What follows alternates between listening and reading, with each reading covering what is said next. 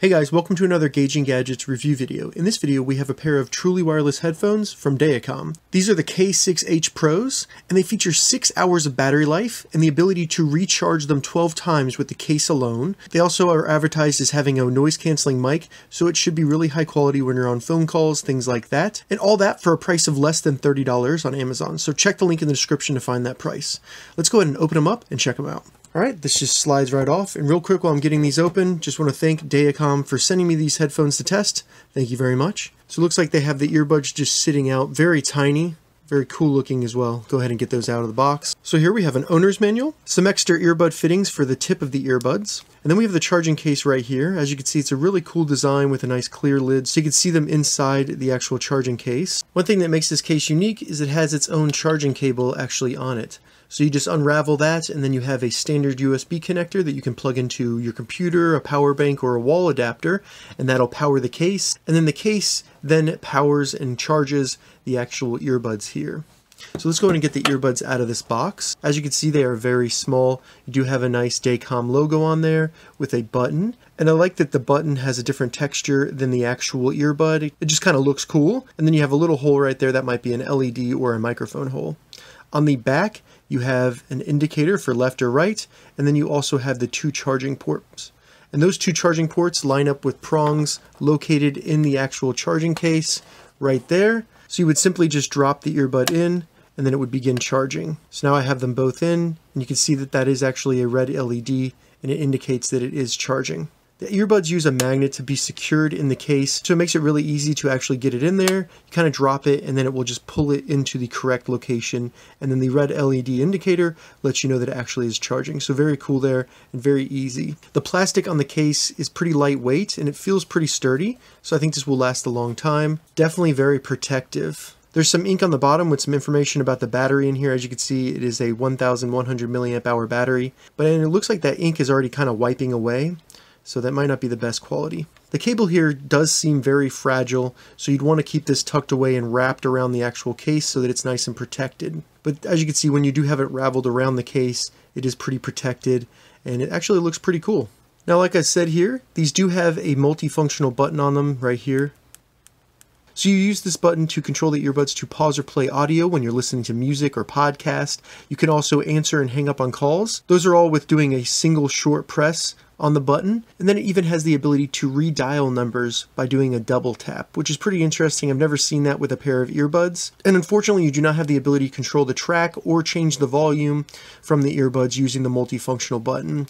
So that's a little bit of a lack in functionality, but you do gain the ability to redial numbers from the earbud if that is useful to you. Now the earbud fitting right here just comes off very easily. As you can see this little lip right here, that's where it's going to kind of just snug right over that and then you can put it right back on. So with those extra earbud fittings right here, you can easily change those out. They are different sizes, so if you need bigger ones to make them more secure in your ear, you can definitely find those in the bag. The earbuds are completely made out of plastic, and that makes them extremely light, so hopefully that makes them more comfortable when wearing them. So now that we've taken a closer look at the Dacom K6H Pro truly wireless earbuds, let's go ahead and get them turned on and then paired with my phone. So to put them in pairing mode, I simply need to remove them from their charging case and I can see that the LED on the left earbud right here is blinking red and blue. So that should mean that it's in pairing mode. I'll look on my phone right now. They come up on my phone as Bluetooth 6P TWS, and we're connected. As you can see, they came fully charged. All right, so after having had some time to test out the Dacom K6H Pros, I have to say overall they're not that bad. From an audio quality standpoint, the bass is very lacking, so you don't get much bass through the headphones, but the highs and the mids come through very clear and crisp with no tinniness at all. They also get very loud, and like I said, the audio is clear, so it does sound pretty good, but there's going to be a lack of bass. It's almost as if there's almost no bass at all, which is somewhat expected from tiny earbuds like this, but I would expect a little bit more than there is. Now, when it comes to listening to YouTube on your computer or your cell phone, there's no issues with with audio syncing on these. So you're not going to have any Bluetooth issues with delay in audio, so it won't look like you're watching a dubbed video. They are very comfortable. Like I said, they're very lightweight and very small, so they fit in your ear and they just stay there and you can wear them for a very long period of time without any discomfort in your ear canal at all. So very surprised there. They're also very easy to pair with your phone or computer. All you need to do is take them out of the case, they connect with each other very quickly, and then they go into pairing mode automatically, and they come up on your phone very quickly, so no issues there.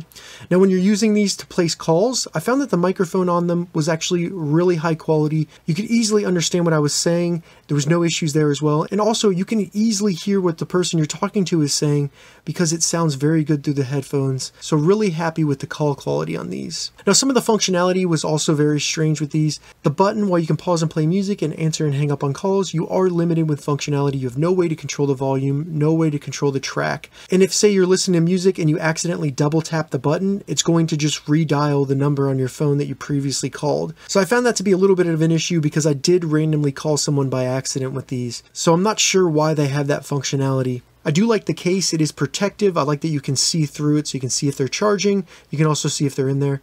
And the included cable is pretty cool, but I am worried about the longevity of that. It is a cheap feeling cable, so I'm not sure how long that'll last. Another thing I did like was the battery life. You do get six hours out of the earbuds, and I tested that. It does seem to be accurate, but you can also charge them 12 times using the case.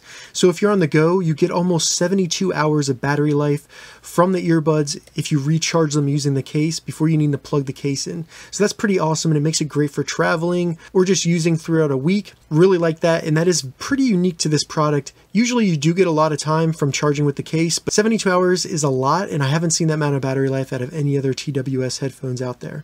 Now connectivity between the earbuds I also found to be good. I had no issues with them disconnecting or interference between them, so they worked great from that standpoint. Overall, as long as you know going into it that these do not have that much bass and that the functionality on the buttons is lacking, I would recommend them for a price of less than $40. They sound good and they do place calls very well. If you have any questions about the Dacom K6H Pros, leave a comment below. I'll get back to you as soon as I can. I'm going to add an Amazon affiliate link to the description below so you can find these exact earbuds on Amazon. If this video helped you, give it a thumbs up and please consider subscribing to my channel, Gauging Gadgets, more gadget reviews and tech tutorials. Thank you so much for watching.